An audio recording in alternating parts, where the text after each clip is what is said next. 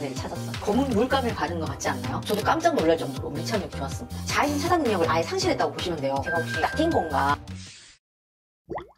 안녕하세요 여러분 셀프케어 전문가 김결입니다 여러분 저번 영상 저의 선크림 추천템 리뷰 잘 보셨나요? 그때 제가 살짝 얘기를 드렸는데 이 선크림 제형별로 지속력이 얼마나 되는지 그리고 우리 너무나도 궁금했던 거 과연 오래된 선크림은 자외선 차단 효과가 있는지 자외선 차단 효과가 있는 립밤은 과연 얼마나 효과가 있는지 뭐 이런 것들 저도 너무너무 궁금해서 이번에 UV 카메라로 몽땅 다 테스트를 해봤습니다 그럼 같이 보러 가실까요? 여러분 일단 들어가기에 앞서서 UV 카메라의 유기자차와 무기자차별로 보여지는 색깔이 달라요. 유기자차 같은 경우는 완벽하게 검정색으로 표시가 되고 무기자차는 유기자차보다는 조금 연한 약간 진해 색 깔로 이렇게 표시가 되는데 검정색이 뭔가 더 진해 보이니까 자외선 차단이 더 잘 될 것 같다라는 그런 느낌이 드시잖아요. 그런 거 아닙니다. 그냥 단순히 유기자차냐 무기자차냐에 따라서 보여지는 컬러가 다른 거기 때문에 이 부분 명심해 주시고 보시면 좋을 것 같아요.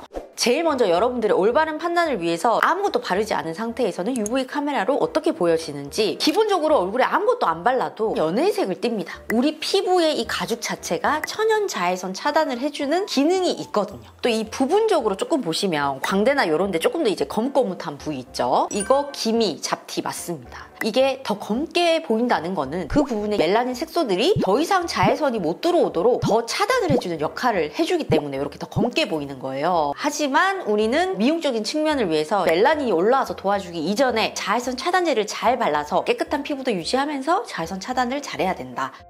첫 번째로 세럼 타입의 유기자차를 반반씩 발라서 한번 볼게요. 세럼 바르는 것 같이 크림보다는 수분감이 많고 촉촉한 제품이다 보니까 과연 자외선 차단이 될까? 라는 의문을 저도 가지고 있었고 가지신 분들이 많을 것 같은데 지금 보시면 유기자차라서 검게 이게 둘 다 표현이 되는 게 자외선 차단이 굉장히 잘 된다라는 게 일단 증명이 됐죠. 근데 이게 UV 카메라 말고 그냥 카메라로 봤을 때는 정말 그냥 티가 하나도 안 나는 수분 세럼 바르는 느낌이라서 지속력이 얼마나 될까 라는 의구심이 조금 들었어요. 그래서 일단 3시간 뒤에 다시 한번 확인을 해봤는데 생각보다 많이 안 지워졌습니다. 저도 깜짝 놀랄 정도로 밀착력이 좋았습니다. 그리고 6시간 뒤에도 보면 의외로 많이 남아있는데 입가 주변이 많이 지워졌어요. 이날 아무래도 이제 점심 먹고 나서 양치를 하고 또 말을 하다 보니까 이 움직이는 부위가 이렇게 얼룩덜룩하게 좀 지워지긴 했는데 그래도 세럼이면 이 정도면은 괜찮은 것 같다라는 생각이 들고 이제 9시간 뒤에도 보시면 아까 6시간 전이랑 유사하고 하관 쪽으로 좀 많이 지워졌 죠. 무의식적으로 이렇게 앉아서 작업하면은 이렇게 하관을 이렇게 만지는 버릇이 있는 것 같아요. 그래서 하관 쪽으로 왼쪽이 좀 더 많이 지워진 모습을 보실 수 있습니다. 지속력은 두 개가 다 비슷하다라고 생각을 해주시면 될 것 같아요. 자 이제 두 번째로는 로션 타입의 무기자차를 반반씩 발라서 비교를 해보도록 하겠습니다. 우선 이 두 가지 제품 모두 다 무기자차라서 그런지 둘 다 약간 지대색을 띠죠. 3시간 뒤에 딱 보시면 아주 잘 고정이 되어 있죠. 로션 타입이라서 발랐을 때는 좀 부드럽고 그런데 건조가 되고 나면 딱 fixing이 돼서 그런지 번들거리는 느낌도 없고 생각보다 고정력이 좋은 것 같아요. 6시간 뒤도 거의 똑같아요. 하관 쪽에도 보면 굉장히 건재하게 아직 남아있습니다. 9시간 뒤에도 보면 생각보다 많이 건재합니다. 선세럼보다는 제품 고정력이나 밀착력이 훨씬 더 오랫동안 남는다는 그 느낌이 들잖아요. 그래서 세럼 타입보다는 로션 타입의 무기 자체가 조금 더 밀착력이 좋다라는 게 좀 확인이 됐고요. 그리고 세 번째로는 로션 타입의 유기자차 두 가지 반반 테스트 해볼게요. 두 가지 제품도 아주 부드럽게 로션처럼 잘 발립니다. 이 마치 검은 물감을 바르는 것 같지 않나요? 그리고 제가 이날 blue light 안경을 썼는데 오 안경 알이 아주 까맣게 야무지게 자외선 차단이 잘 되는 거를 확인을 할 수 있었어요. 이렇게 보니까 어, 앞으로 일할 때 UV 차단을 위해서라도 보호 안경 자주 껴야겠다라는 생각이 들었고 제가 이날 외부에 카페에서 작업한다고 있었는데 그래서 화장실에서 촬영을 했거든요. 보시면은 굉장히 잘 붙어 있습니다. 에어컨 바람이 아주 시게 나왔는데 땀이 안 나서 그런지 얼굴에 잘 붙어 있었고 이번에는 봤을 때 하관 쪽으로 입 주변이 조금 많이 지워진 느낌이 들어요. 많이 움직이고 그리고 제가 만지는 부위일수록 많이 지워진다라는 게 보이고 마지막으로 집에 와서 이제 씻기 전에 확인을 해보니까 아까보다는 전체적으로 좀 더 많이 얼룩덜룩해진 그런 느낌이 듭니다. 로션 타입으로 1회 발랐는데 이 정도면은 그래도 나쁘지 않은 것 같습니다. 자, 여러분 여기서 막간을 이용한 호기심 천국. 과연 개봉 후 1년이 지난 선크림은 자외선 차단 효과가 있을까? 굉장히 궁금한 부분이지 않겠습니까? 그리고 사실 일반인 분들이라면 선크림 한 번 사면은 1년 안에 그 제품을 야무지게 다 쓰시는 분들은 거의 없으실 거란 말이에요. 근데 여러분 제가 저희 집에 있는 자외선 차단제를 모조리 꺼내서 확인을 해봤는데 1년이 넘은 애들이 없는 거예요. 근데 8년이 넘은 애를 찾았어요. 그래서 제 피부가 상할 것 같다라는 느낌이 들었지만 그래도 저희 실험 정신을 통해서 과연 8년이 지난 선크림 자외선 차단 능력이 얼마나 되는지 한번 같이 보도록 하시죠. 여러분 보시면 아시겠지만 8년 지난 선크림 이게 무기자차인데요. 거의 티가 안 납니다. 색이 안 나타나요. 자외선 차단 능력을 아예 상실했다고 보시면 돼요. 네, 여러분은 절대 바르지 마시고요. 오른쪽에는 1년 미만 무기자차인데 딱 보시면 차이가 너무 확연하게 딱 나죠. 선크림은 오래되면 오래될수록 자외선 차단 능력이 확연히 떨어진다라는 거를 지금 이 영상을 통해서 보실 수 있습니다. 그럼 그래서 최대한 빨리 바르세요. 다음은 가장 많은 분들이 바르시는 크림 타입의 무기자차 반반 테스트를 해보겠습니다. 봤을 때 일단 둘 다 자외선 차단 능력 좋아 보이고 그리고 제가 이날 정말 너무 열심히 열심히 진짜 머리에 불이 나면서 일을 해서 그런지 얼굴을 너무 비비고 문질렀다라는 게 이걸 보니까 알 수 있네요. 이게 9시간 뒤만 봐도 이 무기자차 로션보다는 크림이 뭔가 밀착력이 떨어지는 듯한 그런 느낌이 들어요.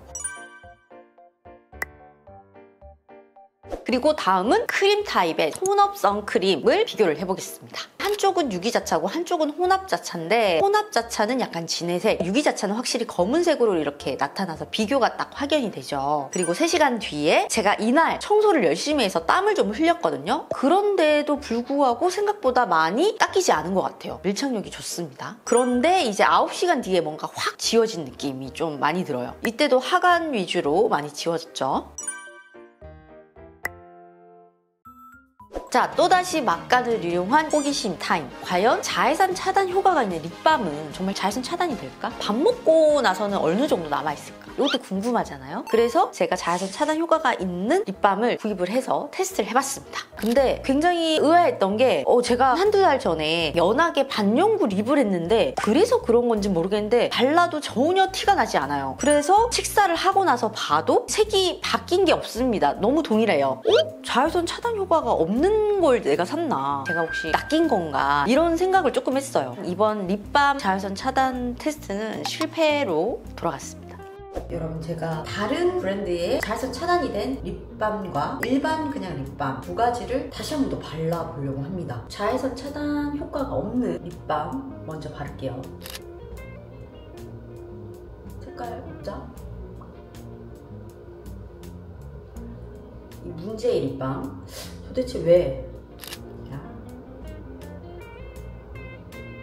똑같죠 아까랑? 그러면 이제 타사 SPF 15 지수가 있는 립밤을 발라보겠습니다. 어? 어? 보이시나요? 지금 위쪽은 안 바른 쪽, 아래쪽은 바른 쪽. 오! 뭐죠? 쿠팡 공식몰이라고 분명히 보고 산 건데 왜 보면 SPF 15 지수가 적혀 있는 걸까요? 미추얼이나 대답을 해주십시오.